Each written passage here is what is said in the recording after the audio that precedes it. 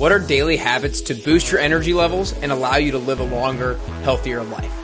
Gary Brecka is the co founder and chief human biologist at 10x Health, who has helped thousands of people implement the right routines to optimize their biology. Welcome to the Best You podcast, where we help you explore how to improve all six areas of life health, personal, career, financial, spiritual, and relational. My name is Nick Carrier, an entrepreneur, fitness trainer, and motivational speaker. I was going down the traditional path of working a nine to five until my mentor saw something in me. I quit my job and started my own business. My mission is to help you gain clarity on how to become your best you. Gary Brecka is a world renowned biologist who is going to help us design a daily and weekly routine to make you live as long and as healthy as you want to. When you know biohacking techniques and health habits that bring you more energy and release stress about your personal health, then you can become unstoppable. Let's dive into optimizing your health and getting closer to your best you with the one and only Gary Brecka.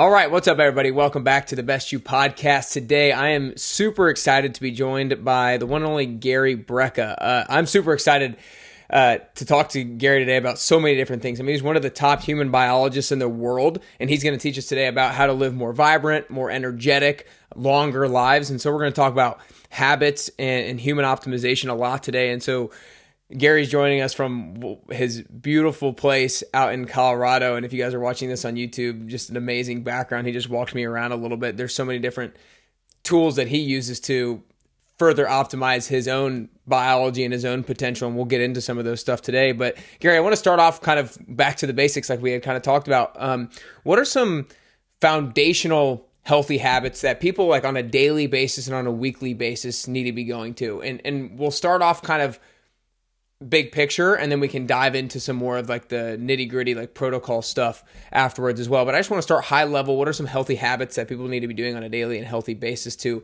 be more energetic and set themselves up for a longer healthier life?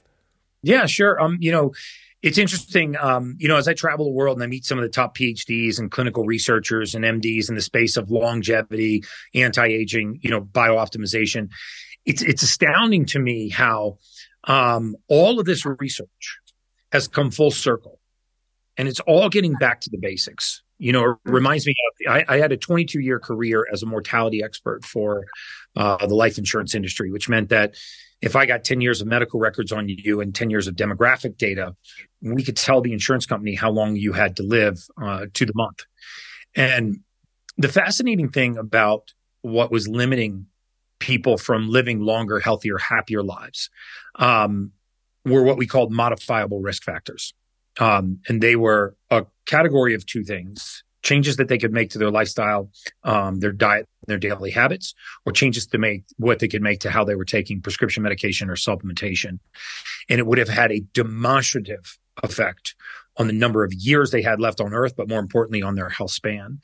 And what I mean about things getting back to the basics is, you know, it can be very scary place uh, to get out on uh, Instagram or TikTok right now and and listen to health advice from qualified people because you know one's telling you vegetables are going to kill you, one's telling you meat's going to kill you, one's telling you that um, you know your supplementation is full of you know heavy metals, and another one's telling you if you drink tap water you're going to die. Um, so the truth is that you know when when we look at what really creates optimal human beings, it's it really is the basics. And God gave us everything that we need to thrive. And aging is just the aggressive pursuit of comfort. You know, we so aggressively pursue comfort that we accelerate our aging. And so, you know, three basics that we've gotten way far away from in humanity and mankind just because of the nature of how we live are the three biggest things that we get from Mother Nature. You know, right outside this door, you, you get three benefits. You get magnetism from the earth, you get oxygen from the air, and you get light from the sun you know, we were really meant to spend more than 85% of our time outdoors and we spend more than 95% of our time indoors. Mm. And so, um, you know, when you, when we see what do we actually get from mother earth? Well, first we get magnetism from the earth. Think about the last time that you had bare feet touching bare soil. I mean, like dirt, grass, sand. That was the last time that you discharged into the earth. You know, the, the, the earth is a, is a grounding force and earthing and grounding is a very real thing and it will cost you absolutely zero. You know, I sell a $5,000 PEMF mat. In fact, I just got off of it. Um, and you could spend five grand on a PEMF mat and put this sophisticated device in your bed and mimic the, the, the earth's, um, low Gauss current. Or you could take your shoes off and you could touch the surface of the earth because we know that the pH range of the body is very narrow. And but the closer we are to the alkaline range, the less hospitable we are to disease and pathologies of all kinds. You may have heard cancer cannot survive in an alkaline environment. So makes us alkaline? Well, it's certainly not drinking alkaline water, right? That was the biggest marketing myth ever sold to the public. Um, you know, you cannot change the pH of the body by putting alkaline water um, through first pass metabolism, but you can change the pH, the potential hydrogen, the charge in the body by contacting the surface of the earth. And so what happens when you earth or you ground is you instantly change the um, the low Gauss current in the body. And what happens is cells all throughout your your system, especially your red blood cells, go from being attracted to each other and sticking together to being repelled from one another and free floating. And just like taking a, a, a roll of quarters and looking at the surface area and then taking that roll of quarters and throwing it on the ground. And when it splatters open, look at the increase in surface area, all those surfaces from those quarters. The same thing happens in the bloodstream. When cells coagulate, and I'm not talking about a blood clot, I'm talking about just clump up because they're they have opposing charges, then we lose all that surface area to exchange with the outside environment, eliminate waste, repair, detoxify, and regenerate. So by contacting the surface of the earth or using a PEMF mat, this would be my first step. Six to 15 minutes a day. That's it. Um, just contacting the surface of the earth. And then the second is oxygen, right? I use something called a hypermax oxygen system. Um, also costs five grand. You could get the same benefit by learning how to do, um, breath work. Um, there is an eight minute breath work routine that I do every morning like clockwork um, I'm so committed to it. I haven't missed once in 38 straight months. Um, I would miss a commercial flight to not miss breath work um, because, you know, the presence of oxygen is the absence of disease. You know, if I was to boil my entire 22 year career down in the life settlement, I mean, in the uh, life insurance space, the mortality space, it would be that statement. The presence of oxygen is the absence of disease. I defy anyone to find a single disease etiological pathway from Parkinson's to Alzheimer's to dementia to type 2 diabetes to psychiatric disorders that do not have their roots in a deficiency of blood oxygen or are not exacerbated by deficiency in blood oxygen. So it takes eight minutes. You know, I do uh, three rounds of 30 breaths. I didn't invent the breath work. It's a Wim Hof uh, style of breath work. He's the father of breath work. Um, in fact, there's a fascinating documentary on Netflix called The Iceman. If you ever really want to see the true power of learning to change the oxygen tension in your tissues. But if I told you that you, you had that there was a um, you know a pill that in eight minutes could elevate your mood, improve your emotional state, rid the body of waste and toxins, increase your energy, improve red blood cell concentration, improve the um, the mo- motility in the digestive tract, um, and then it would last seven to nine hours. You'd be like, "That's amazing." That's exactly what breath work offers us. So I do three rounds of thirty really deep, intense breaths, and on my on my thirtieth exhale, I hold my breath as long as I can. Remember that contrary to popular belief, nitric oxide is not the main vasodilator in the body. Carbon dioxide is. In fact, nitric, uh, nitric oxide and all the nitric oxide supplements are absolutely terrible for you. They actually destroy your mitochondria. But, um, but if I can put a voluminous amount of oxygen into my bloodstream and then exhale and allow carbon dioxide to build up, I will not only get a very positive vasodilation, all those cells begin to scream for oxygen. When you restart your breath work, that oxygen leaves the blood and enters the tissues. It's called the change in oxygen tension. You get lightheaded. That's a great sign. Your fingers and toes tingle. That's a great sign. Um, and I would start at five or 10 breaths and work my way up to three rounds of 30 breaths. And then the last thing is light. Um, again, I manufacture a red light therapy bed. I'd love to sell all your listeners a red light therapy bed. Um, the truth is that'll set you back $120,000, or you can go right outside for zero. Take your shirt off if you're a woman, just a sports bra and, and shorts. And when you're doing your breath work, expose your body to natural sunlight. You know, the safest time to do this is the first 45 minutes of the day. We call it first light. There's a voluminous amount of healthy blue light, not the blue light like you get from your screen and your phone. Um, there's no UVA or UVB damaging rays to age the skin. But interestingly, the wavelengths of light that pass through the skin and help the body convert cholesterol into vitamin D3, the single most important nutrient in the human body, those um, are, are readily prevalent in first light. So if I was to say, I don't have a penny to spend on biohacking and I want to do most that I could do permanently change the trajectory of my life, I would do grounding, breath work, and expose my skin to first light in the morning. Those three things. And then you can add to that um, a, a cold shower. You know, where we're only now really to beginning to understand the benefits of cold water immersion. Yes, if you can afford a cold plunge, I sell those too. Um, you can afford a cold plunge, buy a cold plunge. But if not, you're going to take a shower. Um, so when your shower's done and you've lathered up and soaked off, step back out of the shower, turn it as cold as it will go, let it run for about 30 seconds and take a deep breath and then step into that ice cold stream and just deal with it. Deal with it for one to three minutes. You'll survive. Um, because we know now that when we shock the body with um, dra- dramatic changes in temperature, and, and, and water is 29 times more thermogenic than air, meaning it removes heat from the body at 29 times the rate of air. So it causes a panic in, in a sense.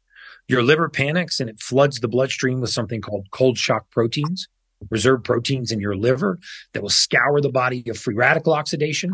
It will quadruple the rate of protein synthesis, which is muscle repair. Um, it elevates your mood and improves your emotional state, causes a peripheral vasoconstriction, which drives blood to the brain, to the liver, lungs, pancreas, and the kidneys. And it also activates something called brown fat, which is our thermostat that can increase our metabolic rate. And all of these things are readily accessible. But the majority of your listeners will not put this to work in their life. Number one, because they're too simple. And number two, because they're uncomfortable. Yeah, yeah. Most people won't do it just because number one, it's too simple. Um, you know, it's not it's not shrouded in in biohacking theory and complex complexity. Um, and number two, because it's uncomfortable. And and this is where I coined the term aging is the aggressive pursuit of comfort. You know, we we re, we know now that sedentary lifestyle is the leading cause of all cause mortality. Right, sitting is the new smoking, and um, and there's a process in the human body called hormesis, Hormesis is where you stress the body and it strengthens in response. Not all stress is bad for the body. We got to stop telling grandma not to go outside. It's too hot, not to go outside. It's too cold, just to lay down, just to relax, to eat at the very first pang of hunger. Um, because this is collapsing all of our natural um, defense mechanisms and longevity mechanisms. We know if you don't load a bone, it won't strengthen. If you don't tear a muscle, it, it won't grow. And if you don't challenge the immune system, it weakens. You're seeing this coming out of the pandemic. The worst thing to ever happen to humanity, and I'll probably lose half the listeners because saying this, is, you know, was masking, residential quarantining, and and social distancing um, because you're taking human beings out of what we were designed to do, which is interact with other human beings and combat these mm. pathogens. So what happens is you caused a progressive weakening of the immune system. And then when we pop the top on the pandemic, we wonder why we're hearing about all kinds of strange viruses, monkeypox, all this nonsense. I'm like, what the hell's monkeypox?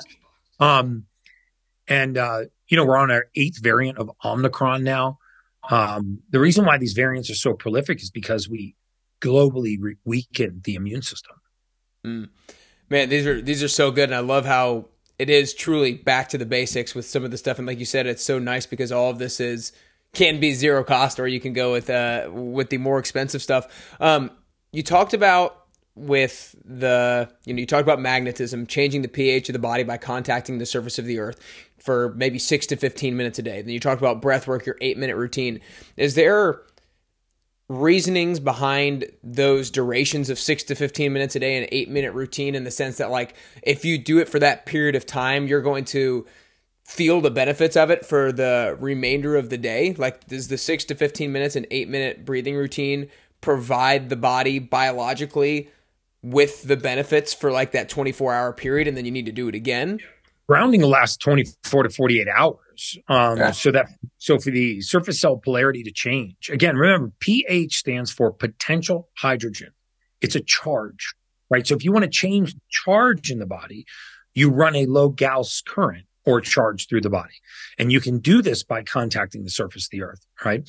Um, in fact, there's a, I just did a post on um, my Instagram um, to prove this. And I held the positive post of um, a voltage meter, a very sensitive voltage meter, and I plugged the negative pole into the ground. And I was standing on top of my running shoes. And I was holding the pole and it was in the ground. And you could see that the, um, um, that it was just resting on the post. As soon as I stepped off my shoes and stepped onto the ground, you could see it jump. So wow. you could actually see that I was completing that circuit, which means that I was discharging into the earth. And so, um, and this is very true. It's why we ground electricity into the earth. It's the reason why lightning, you know, strikes, uh, strikes the earth to be grounded.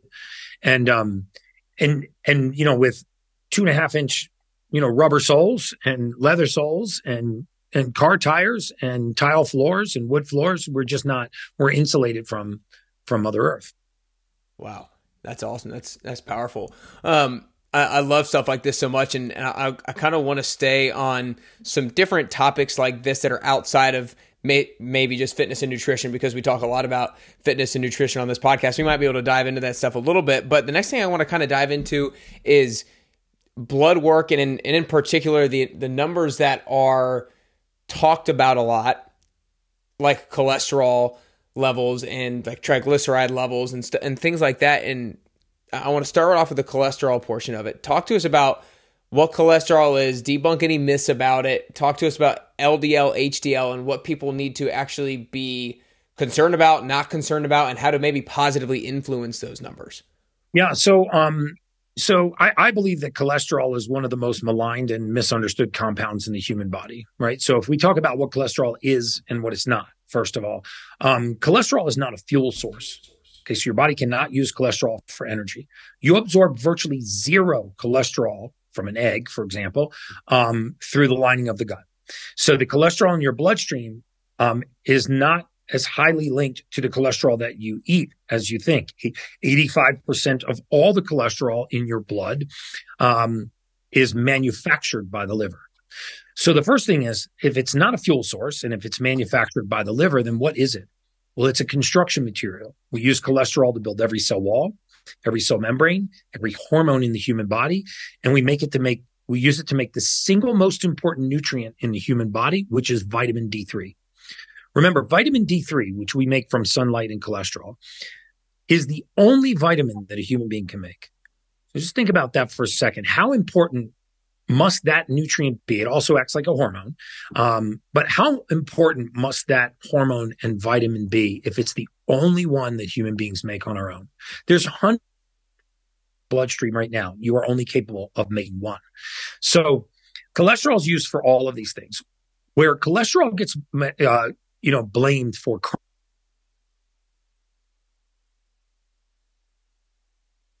Is that cholesterol um, is very often at the scene of the crime, but it does not pull the trigger. So, in other words, it's not the amount of LDL cholesterol in your blood that matters. It is two things the size of the cholesterol molecule, and it is whether or not um, that cholesterol molecule is um, in the presence of what we call PUFAs, polyunsaturated fatty acids, seed oils mainly, which essentially make the cholesterol rancid. And it is hmm. this type of rancid cholesterol that causes plaquing, coagulation, atherosclerotic plaquing, and all of the contributions to cardiovascular disease. So first of all, what makes cholesterol large or small? Well, remember that cholesterol is like a tennis ball.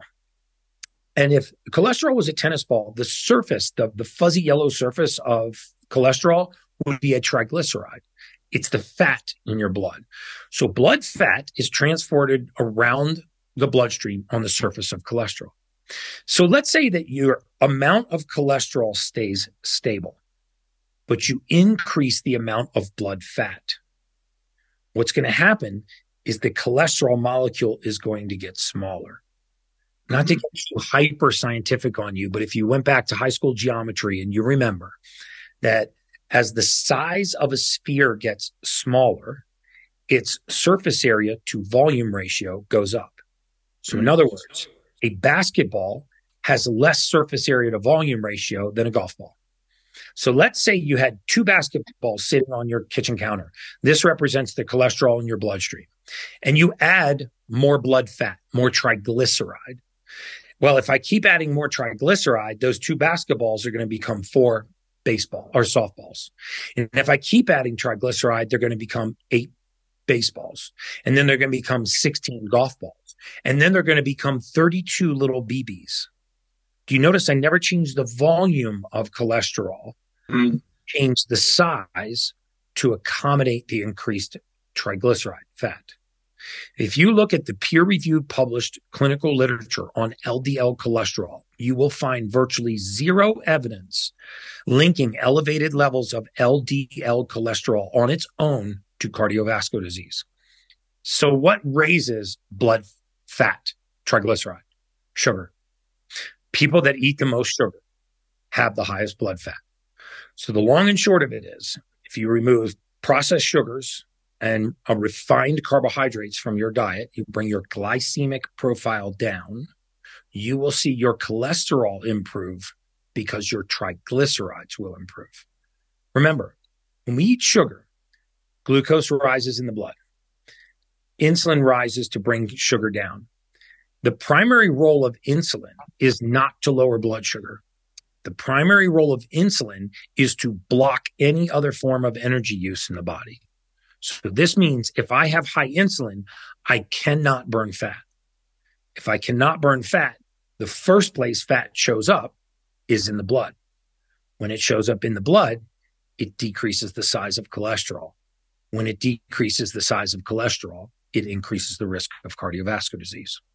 So if you want to dramatically lower your risk of cardiovascular disease, eliminate processed foods, refined carbohydrates, and sugars from your diet.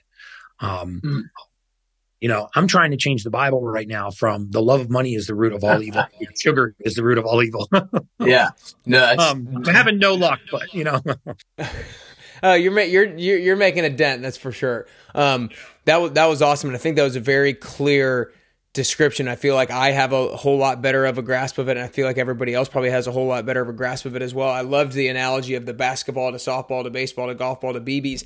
I think that's great. Uh, to, to kind of just retouch on it with regards to how to ensure that these numbers are where they're supposed to be. It's it's mainly about making sure triglycerides are on the are on the lower side of things. You want to have triglycerides below 150. Okay. okay preferably between 75 and 125. Um, you'll get this on a lipid panel. Um, you want to have your HDL, your high density lipoprotein, which is your healthy cholesterol, above 39, preferably above 50. Um, and you want LDL cholesterol between 100 and 220. Um, if it's over 99, your doctor's going to tell you it's elevated and you need to go on a statin. Um, and that would be an absolute crime because, you know, one of the things that we studied in the mortality space in that my 22 year career was what was the impact on all cause mortality from some of these different medications that people are on thyroid medications, antidepressants, um, um, blood pressure medications, corticosteroids, statins, these sorts of things. And you're seeing this medicine is beginning to come full circle right? We know now that the serotonin theory of depression has been completely debunked, even though there are tens of millions of people on selective serotonin reuptake inhibitors that may permanently cause a tachyphylactic response in your brain, meaning a desensitization response, quadrupling your um, the incidence of of suicide and potentially leading to leading to crippling permanent depression. We know that when people take corticosteroids, which are um, you know, uh, oral uh, not steroids for your muscles, but these are these are steroids to reduce inflammation. Um, uh, you know, prednisone, steroids like this. We know that initially they're anti-inflammatory, but then they begin to eat the joint like a termite. Like I knew in the mortality space that if you were diagnosed with something like rheumatoid arthritis and put on a corticosteroid, you had six years and one day until you were having a joint replacement. It was mm. so accurate that if you're a 60 year old male or female, I would artificially advance your age six years and one day, and I would schedule the joint replacement. And then what I would do is I would begin to reduce something called your ambulatory profile, how well you ambulate, how well you move. And as I reduced your mobility, I could bring in all of the diseases that exacerbate with reduced mobility. So I would bring your future from decades ahead right into your present.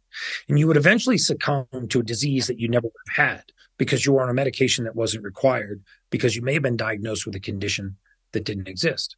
And so, you know, one of the one of the biggest challenges that we saw in the space that I used to work in, in the mortality space, was something called iatrogenic illness, which is physician induced illness. Um, if you look at the 2016 Harvard University study or the 2019 um, Johns Hopkins study, you'll find that modern medicine, medical error is the third leading cause of death. Right. So modern medicine kills more people than morbid obesity and diabetes combined. Only mm-hmm. cancer and cardiovascular disease kill pe- more people than medical error. And so we're very good at crisis medicine. We're very poor at biooptimization. Um, and that's why we got to take these things into our own hands. Yeah, no, this is this is great. Um, I appreciate you sharing the those numbers with uh, the triglycerides and the HDL and LDL as well. So, why, if somebody has numbers that they just heard the numbers and they just had blood work done and they're like, "Holy crap, I'm off on these things." So it's not about eating less cholesterol. It's about eating less less sugar, less processed foods, and less refined carbohydrates. No question. I mean, there is virtually zero correlation between dietary cholesterol intake and blood levels of cholesterol. Virtually zero. Um, mm.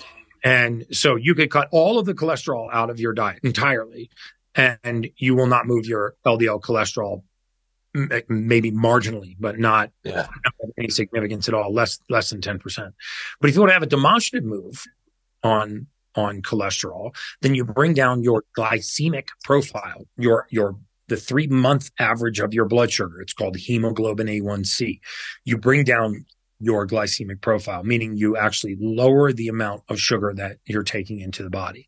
Um, and you know, you can do this with any form of diet carnivore, keto, paleo, raw food, vegan, vegetarian, you know, the, the, the, the dietary myths that are out there that you have to be all keto or all carnivore or all vegan or all raw or all vegetarian, they negate the most important point, and that is the, the caliber, the quality of the whole food. You see, our food supply is not so much about the food that we eat; it's about the distance from the from the um, seed to the table right? Mm-hmm. I mean, I, I just did a huge post about, uh, um, you know, the, the, the negativity, of, you know, of uh, seed oils, the toxicity in seed oils. And I didn't say that seed oils were bad for you. I said industrial processed seed oils were bad for you because, you know, we take a lot of things in modern agriculture that are non-toxic, that are actually very good for you, like grass-fed meat.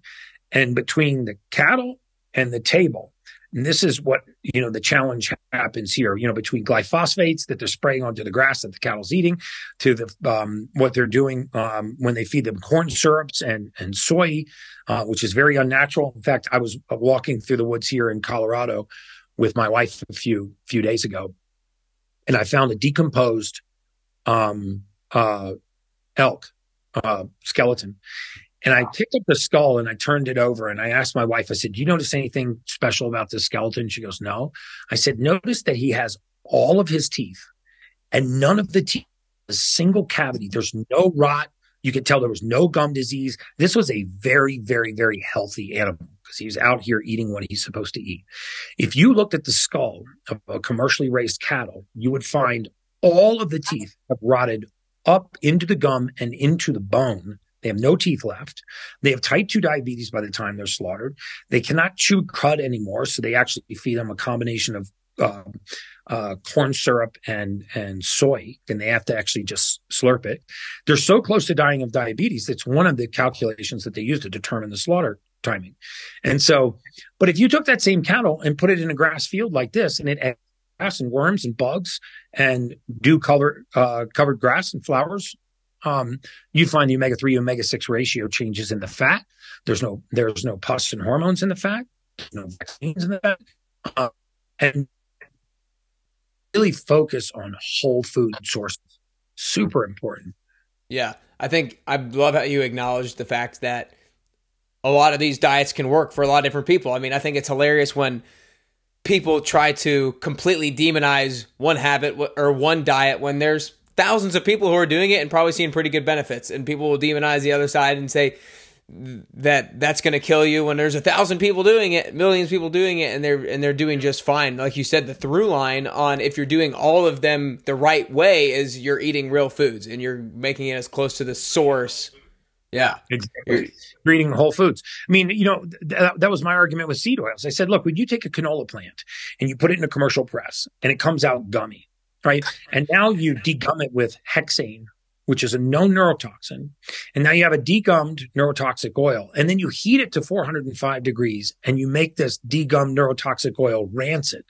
And then it begins to stink. So you odorize it with sodium hydroxide. Sodium hydroxide is a well-known carcinogen. And then the oil is cloudy. So we bleach it with mild amounts of chlorine. So you have a sodium hydroxide, hexanated, um, um, chlorinated oil that's been heated to a rancid temperature. Now you put that on the shelf one of the most toxic compounds you can put in the human body. But it didn't start that way. Right. Right. And that's where the argument goes awry. It's the industrial processing. You know, it's it's the non-grass fed raised cattle. It's the glyphosate laden fields. I mean, one of the other worst things you can put in the human body are GMO foods. Mm. You know, Italy, Russia have banned these foods. The EU is looking to potentially ban these foods. In Russia, it is a felony to grow genetically modified crops. Yeah. You go to Um. Here, it's the fastest growing area of agriculture. And we genetically modified seeds to make them resistant to glyphosate, which is a um, uh, insecticide, a poison. And um, I mean, an herbicide, a poison. And so the seed is resistant to glyphosate, but when you genetically modify it, there's hordes of evidence now that that genetically modified plant is not only non-digestible, but it also can potentially alter the epigenome in a human being. Mm. These are unnatural foods. Um, wow. Italy also just outlawed uh, lab grown meat. It was the first country in the world to do that. Um, you know, the, the United States is one of the few civilized nations in the world that uses something called single dose toxicity to determine whether or not something's poisonous for you. So I'm actually legally allowed to poison you in small doses, um, as long as the dose is not enough to cause a physiologic effect. This is why a lot of our energy drinks and our supplements have something called cyanocobalamin, you want to throw those things in the trash. That is a cyanide based B12. We make that B12 from hydrogen cyanide, a chemical weapon, and the cobalt metal. In small doses, it's harmless. In cumulative doses, it can be toxic, just like mercury. Nobody got mercury poisoning from eating one piece of tuna fish. Right. It's the cumulative dose toxicity not the single dose toxicity that matters. And so when we have an entire industrial complex like the FDA that's based on single dose toxicity, and it mm. This is safe for you, Nick, because this dose will not harm you. But those dosages are cumulative so that over time you create toxicity. Um, you know, one yeah, of the reasons why I built this whole retreat out here is to get, get away from that. Yeah, that's that's profound. I never heard of that phrase, the single dose toxicity, before, and that makes so much sense as to why we have so many different things off. Um, when you were talking about energy drinks, I think the the ingredient that you were going to say to make sure to avoid, I, we got cut off really quickly when you were saying that. What what are the and if you're looking at energy drinks and stuff like that, what is the what thing you want to make sure you're not having? It's called cyanocobalamin. Um, okay. I'm going to show you something uh, because nobody believes me when I say this. So I'm actually just going to take you to the National Library of Medicine at the National Institute of Health. Can I share my screen for a second? Yeah, let me see if I. Uh... So for those that are listening, I'll, I'll, talk my way through it. But for those of you that are watching, you you know you can just um, see this firsthand. Um, but let's go to. Can you see my screen? Yep. Okay. So I'm going to put in cyanocobalamin, which is the most common form of B12 in the world. We make it in a laboratory. It does not occur anywhere naturally in nature. Three other forms of B12 occur naturally in nature, the most beneficial of which is called methylcobalamin. Um, and what I'm going to do is I'm going to go to the National Library of Medicine You see this at the National Institute of Health. And I'm just going to look up this form of B12. So I'm going to say, um, if I wanted to source this form of B12, let's say, and put it in a multivitamin, here's where I go. And I scroll down here to section 5.3, and it will tell me its component compounds. See this right here where it says component compounds? Yep. Okay, well, it's made from the cobalt metal, which all B12 is, and it's also made from something called a cyano radical. Well, what's that? Well, that's hydrogen cyanide. That is a flammable, acute toxic, health hazard, environmental hazard. Um, I wonder what else they um, use this in. Oh, here you go. It is a, these are not my words.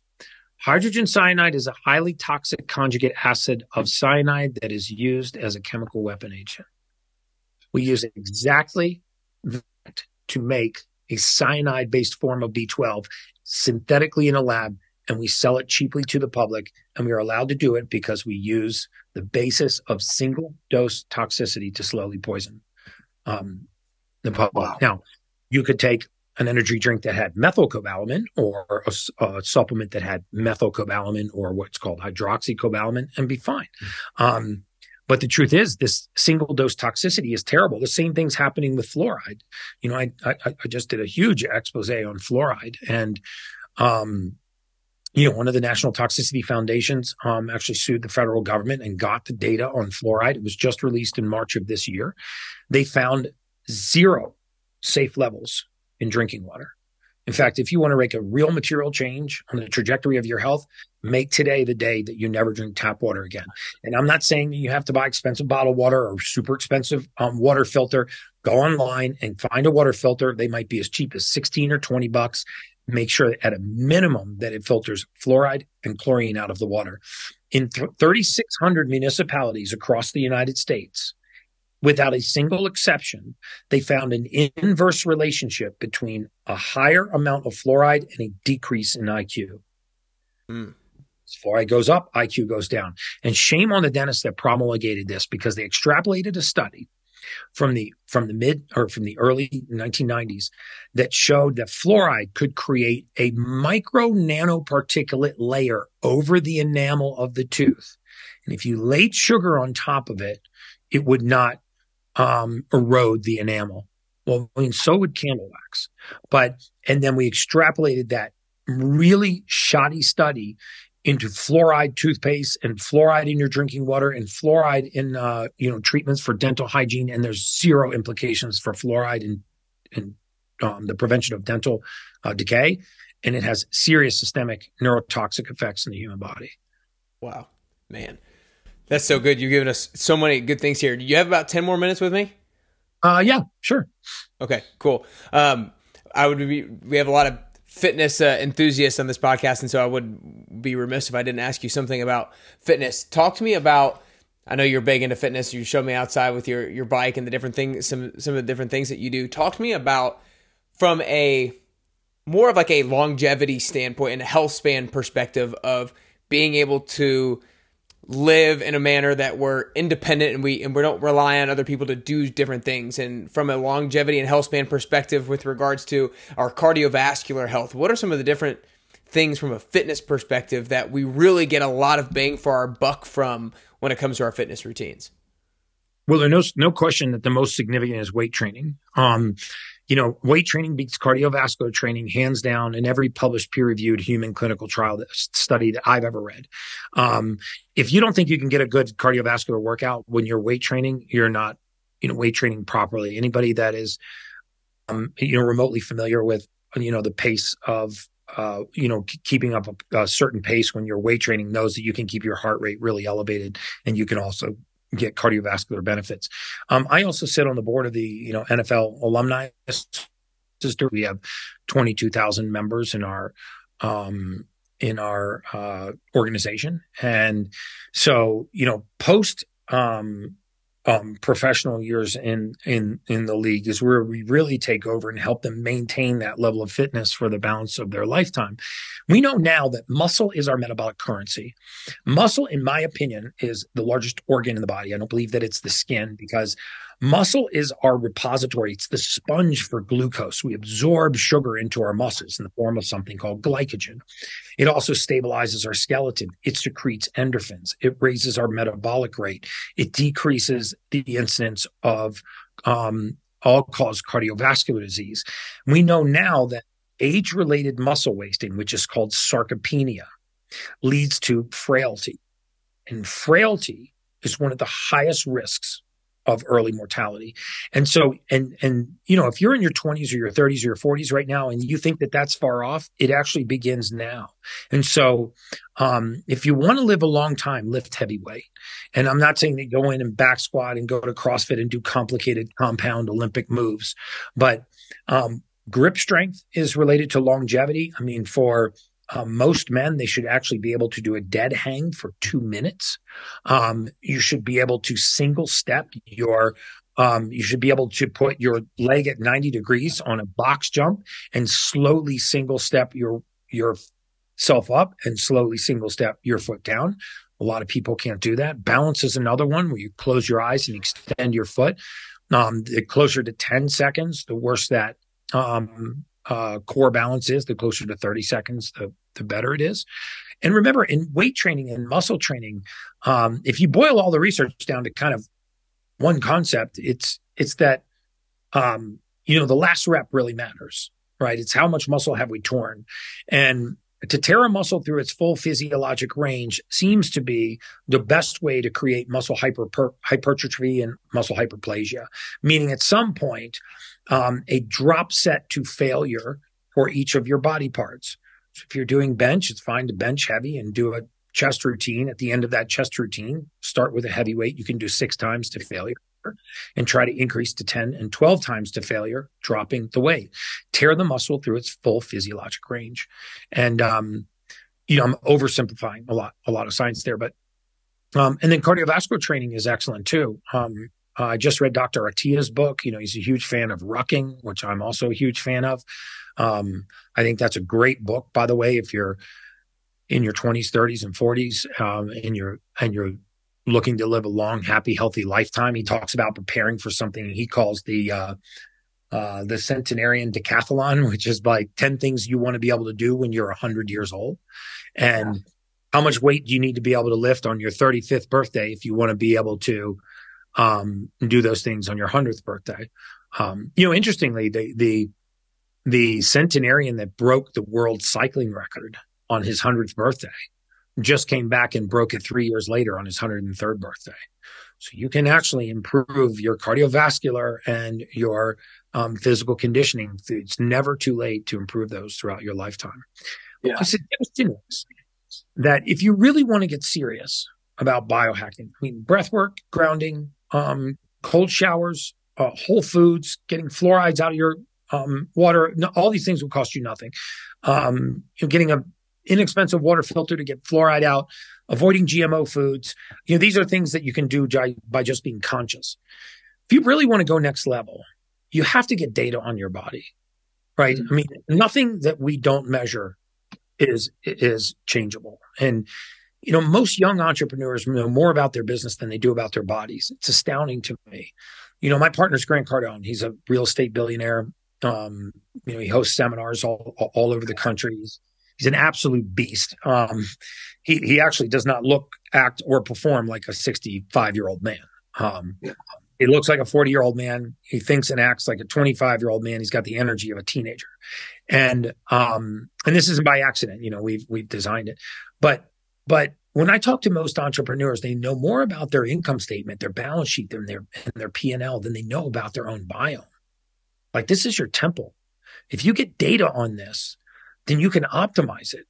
Most of us are walking around right now at about 60% of our true state of normal. You're listening to this and you think that you're optimal. You, you very well may be 60% of the way there. You have no idea how good normal could feel. And when you, you know, my suggestion is that you there's two tests that I believe that people should do. One is an absolute must, and you have to do it once in your lifetime. And it's a genetic test. It's called a methylation test. You do not have to do the test through me. Google it. There's tons of companies that do it. Um, um, you know, we also have to do a genetic test, but you do a cheek swab, you send it to a lab, and it tells you exactly what raw materials, vitamins, minerals, amino acids, nutrients, your body cannot convert into the usable form. And it is this deficiency that is holding you back from being optimal. It's interrupting your, it's creating brain fog. It's interrupting your focus, your concentration, your delta wave of sleep, your response to exercise, your waking energy, your short term recall, all these little things that are nipping at you anxiousness, anxiety, um, ADD, ADHD. And so to become more mentally fit, we need data. And once you do this test once in your lifetime, you'll never guess on what you need to supplement with. Most wow. people are just supplementing for the sake of supplementing instead of supplementing for deficiency. You want to see magic happen in the human body? Start supplementing for what your body's deficient in and get out of its way. It is astounding what can happen. That's great. What? Uh, so you said genetic testing. Was there another test that you were going to mention? I got you. The second is a blood test, and you want to ask your doctor to look at three things. Okay. What's called glycemic control. How well are you controlling your blood sugar, glucose, hemoglobin A1C, insulin, a hormone panel, full hormone panel on males and females, and nutrient deficiencies, specifically vitamin D3, which is called um, vitamin D25 hydroxy on a blood test, um, and B12. And this is the basics of where you start. This is the casting net that you throw out to decide where is my baseline. And you can get your blood work done once a year, maybe twice a year. Look at your hormone balance because most people that qualify for hormone therapy actually don't need hormones. They need raw materials that their body uses to make hormones. So, for example, if you're clinically deficient in vitamin D3 and clinically deficient in DHEA, you will be low on testosterone. And mm-hmm. you don't need testosterone injections. You need to give your body back the raw material it needs to make testosterone. Because the primary role of testosterone, contrary to popular belief, is not male characteristics. It's not deep voice, facial hair, aggression, muscles. Um, it's none of those things. The primary role of testosterone is called erythropoiesis, to put pressure on the bone marrow to create new red blood cells. And when you have healthy red blood cells in the bloodstream in the right amount, your energy level is through the roof. People that are low on testosterone are generally low on red blood cell and hemoglobin. And this is why they're tired. And this is why they have brain fog. And this is why they don't sleep. And you might not need hormone therapy. You might simply need D3 and DHEA to give your body the raw material to make that hormone. And that's a fascinating thing about the human body. Magic things happen when we just give it the raw material it needs to do its job. Mm. Man, that's so good. That's so good. Uh, so many different great things here, you guys. You guys, if you if you don't follow Gary on Instagram yet, get to following Gary on Instagram at Gary Brecka. We'll have all this stuff linked up in the show notes. Uh, if you want to go get that genetic testing, they do genetic testing with 10x. You can go to 10xyourhealth.com and learn more about that if you're interested on taking it to the next level. Uh, any other good place that people should go learn more about you and, and what you're up to besides those places? It's it's 10xhealthtest.com, um, but um, okay.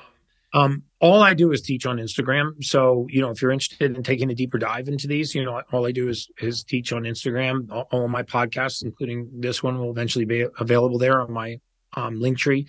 You know, I'm, I'm, I'm embarking on a project that I call the ultimate human, um, which is a combination of a podcast that will eventually lead into a place where people can go to find all things ultimate human. They won't be my products, but my team will clinically and critically evaluate them. So if you wanted to know what are the best cleaning products for my house, that um, what are the best lotions for my skin, what are the best you know hair care products, what kind of water should I be drinking? You know, I want to really give a platform to companies that are doing things right, that are creating you know metal free chocolates and seed oil free um, um, foods and and just give them a platform so people can easily find them.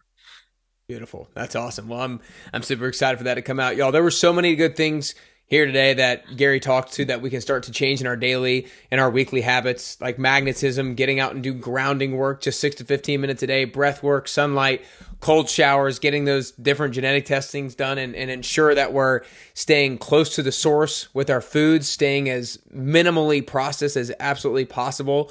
Um, Gary, so many different great things today. You provided a lot of value for everybody, and I know that uh, people are going to start to take action on a lot of this stuff on a daily and weekly basis because they can do simple things and they can do things that are a little bit uncomfortable. I know you guys can. Uh, Gary, that's all we got today. I appreciate you. I appreciate you too, man. Thank you so much for having me on.